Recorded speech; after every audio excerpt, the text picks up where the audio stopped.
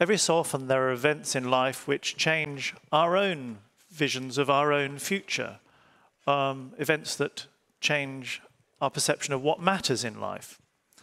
And we're bringing two people on stage now who've, um, hello, uh, we, have, we have one, uh, okay, great, fantastic, Ben, who, who, have, who have experienced um, life-changing events, in one case to a very great extent, or one case to a slightly lesser extent, but both of them had their views of their own lives changed. And Ben List you've already met. Birgit Skarstein from Norway is a, a world champion rower and uh, skier. She is seven times world champion single scull rower and also a Paralympian gold medalist. So welcome to you both. Uh, Birgit, let's start with you. Why don't you just tell your story? What changed your view of life? Well, I'd say that it very much changed my view of life when I was 19 years old. Uh, I had been working in Thailand and I had an accident that cut my left foot off. Uh, and, and that's, you know, a little bit complicated itself. But then it turned out I also uh, got a little bacteria into that leg. And that was really it was really interesting. The nerd in me just really thought that was very interesting to, to, to watch because, you know, every day when we were taking the wraps off the leg, a little bit more of the flesh would be gone because this bacteria, it was eating the leg from the inside. And since I caught this in Thailand, it was not very normal to bring back to Norway. And I can still remember the doctor after they got uh, tested, they tested this bacteria to see what is this. And he came into my room and he had like stars in his eyes. And he was, he was so enthusiastic. He was like, this tropical bacteria they've never seen before. we have no clue what to do. We're going to find a totally new combination of antibiotics for you. And I was like, that's great. Uh. That's fun. let's see, let's see if you can do it. Yay! and that also really gave me that feeling that this is not dependent on willpower. This is not about just wanting to get well. I'm totally dependent, dependent on modern medicine to fix this.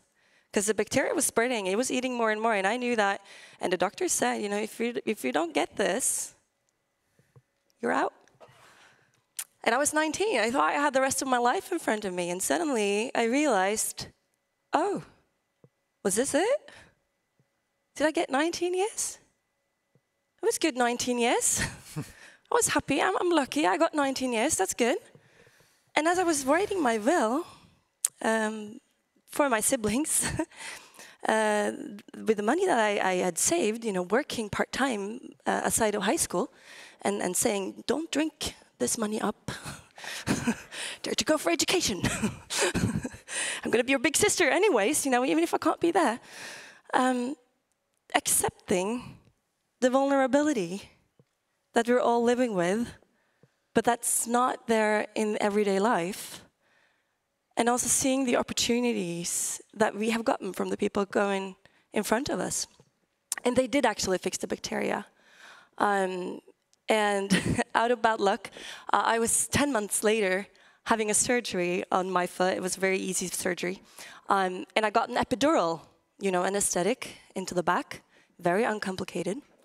And then it turned out they hit the spinal cord by mistake. And it was just that they were doing something good for me. Like they wanted to do something good. They just wanted me to not have pain and ended up taking away the pain for the rest of the life. Um, and I woke up and I, I you know, it was, it was belly button down. Uh, so it was the wrong dose at the wrong place at the wrong time. And I woke up and this physiotherapist, she comes into the room and she says, I was sitting in my bed, you know, kind of like you're sitting in your seats now.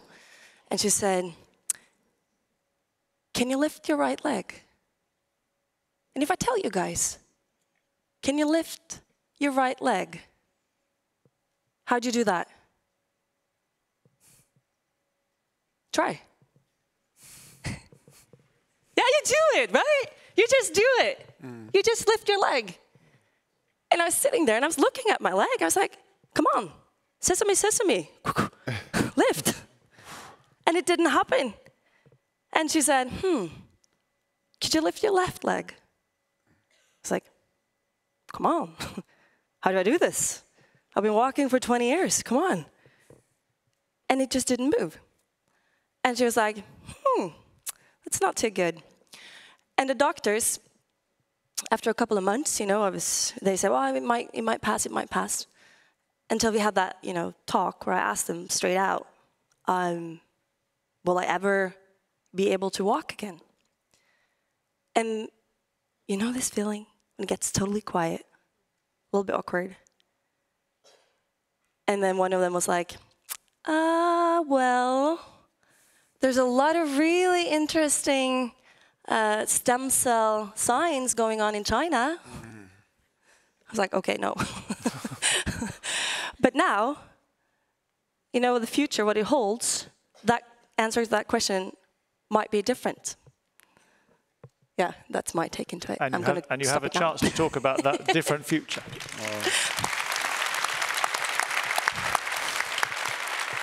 Thank you, thank you, Birgit. And you have a chance to talk about that different, potentially scientific future in the panel this afternoon. Ben, very briefly, you had a, an event which was less life-changing, but it did change your perspective on life. Just yeah. very briefly, tell us what it was. Yeah. So as I as I had explained to you, I, I, didn't feel so comfortable telling my story now because I can still walk, and I had a little accident, and everybody survived. So it's it's kind of uh, challenging to even bring this up in this context after what you have just described. Um, in any case, in, in my experience, we were in, in Thailand as well in 2004 and the last day of our vacation with my two boys, three and five years old, not being able to swim. And uh, we had just packed our stuff and we were sitting by the pool. And then a loud noise started to erupt. And people came running all of a sudden from the beach saying, a big wave is coming. And both my wife and I grabbed one child and tried to sort of run a little bit, but then the water was coming. And, and just a minute later, we were just in the deep black water and the kids i lost my boy out of my hand and and and i was just alone and this this moment was like there was not even a body anymore i couldn't even understand the situation it was so quick and so dark and and and um, in any case, um, as I said, like we all survived, we all came out, and, and I was under the water a few minutes, tumbled around, and then all of a sudden I came to the surface. I saw, okay, this is the situation. The, the, the village is gone. We are all underwater. And uh, then I was underwater again, and finally somehow I came out and climbed on a, on a tree.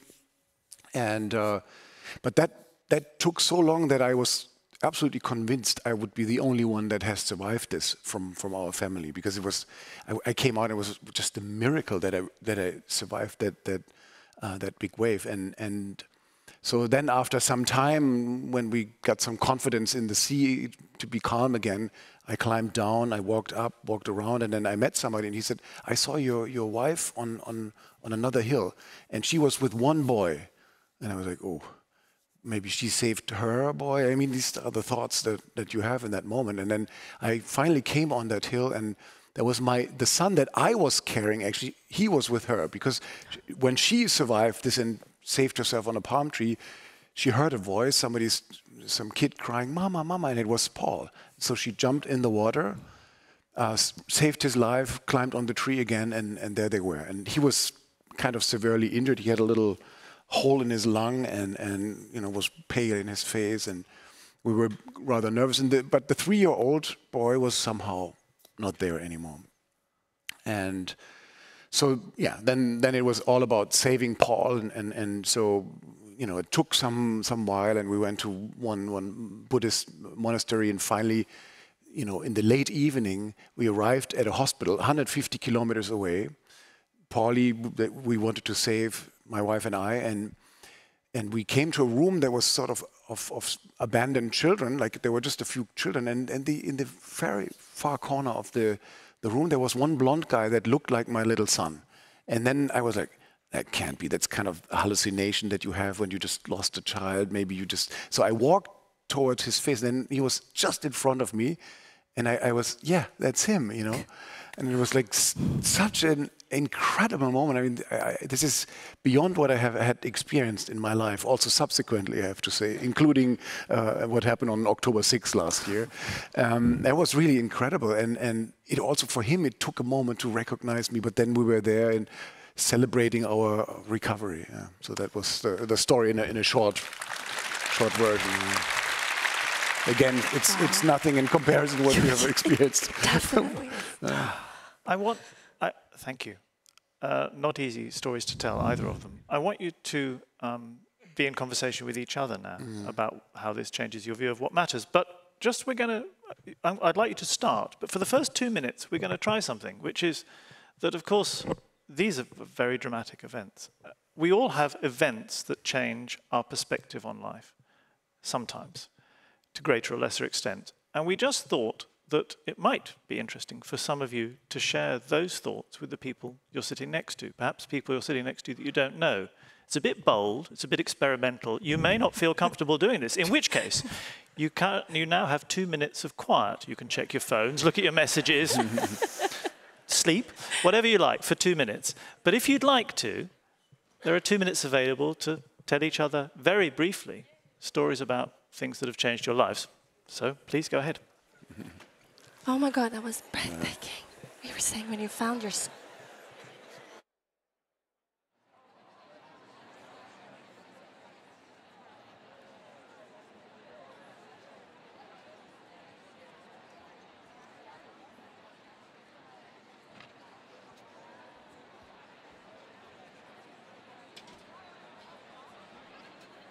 want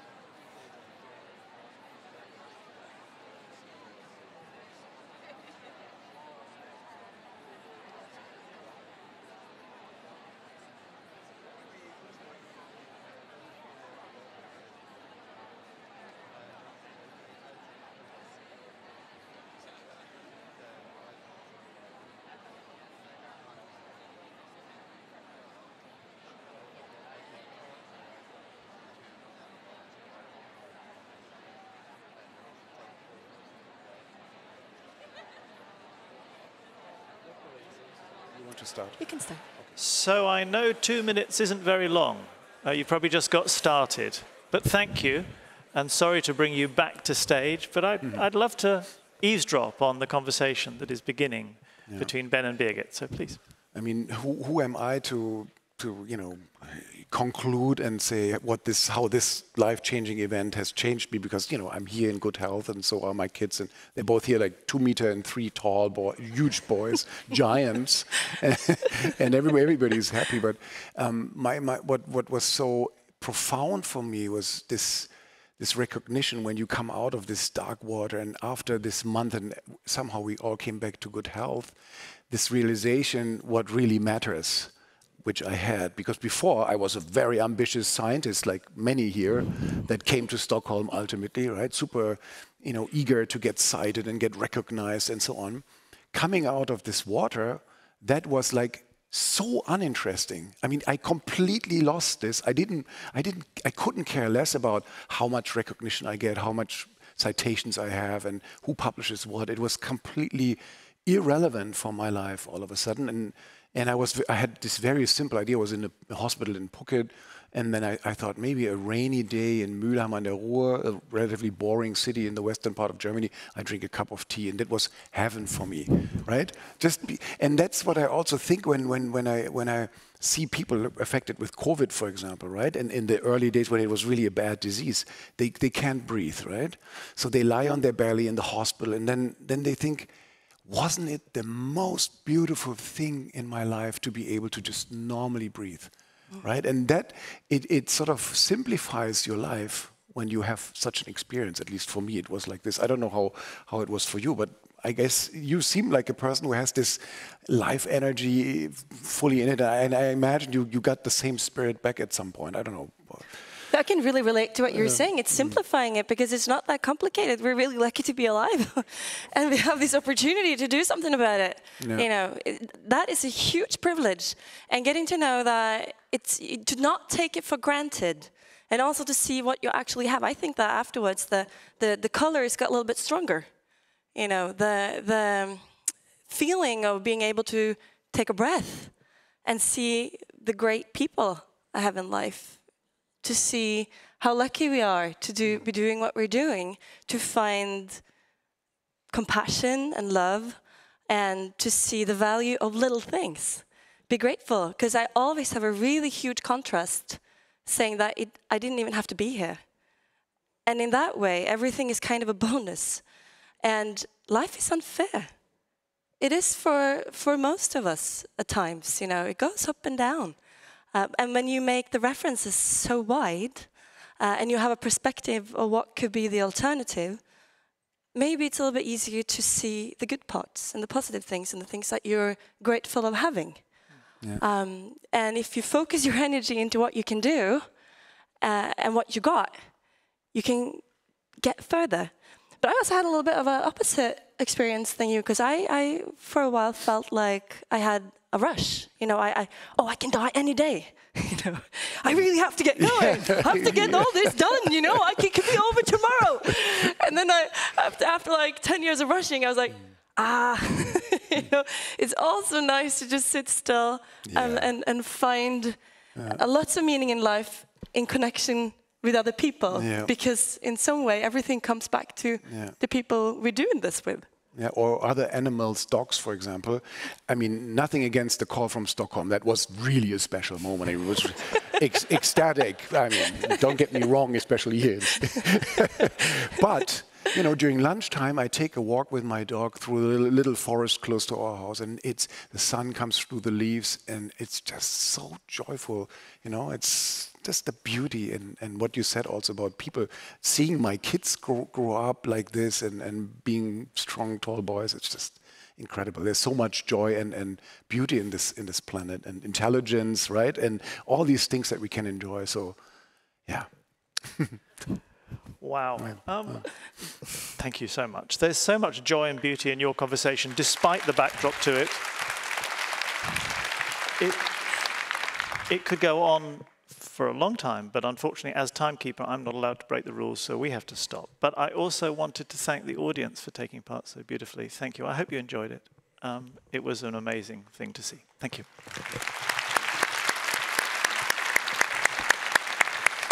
Thank you. Thank you both.